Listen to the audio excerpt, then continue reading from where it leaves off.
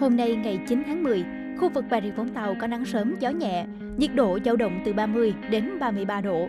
Chiều tối có mưa rào và dông vài nơi, nhiều nơi có mưa vừa, mưa to. Trong mưa dông, có khả năng xuất hiện lốc xét và gió giật mạnh. Dự báo thời tiết cụ thể các khu vực trong tỉnh đêm nay và ngày mai như sau. Khu vực phía Bắc của tỉnh có mưa rào và dông rải rác, ngày mai trời nắng, chiều tối và đêm có mưa rào và dông, có nơi mưa vừa đến mưa to. Trong cơn dông, đề phòng gió giật mạnh, lốc xét, gió Tây Nam cấp 2, cấp 3. Nhiệt độ thấp nhất 24 đến 26 độ, nhiệt độ cao nhất 31 đến 33 độ, độ ẩm từ 80 đến 85%. Khu vực ven biển Bà Rịa Vũng Tàu đêm nay rải rác vài nơi có mưa rào và dông. Ngày mai trời có nắng, chiều và tối mai có mưa rào và dông. Trong cơn dông, đề phòng gió giật mạnh, lốc và sét. Gió Tây Nam cấp 2, cấp 3. Nhiệt độ thấp nhất 24 đến 26 độ, cao nhất 31 đến 33 độ, độ ẩm từ 80 đến 85%. Huyện Côn Đảo đêm nay có mưa, mưa rào và dông.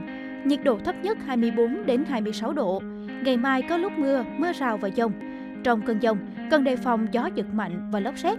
Nhiệt độ cao nhất 30 đến 32 độ, gió Tây Nam cấp 2, cấp 3.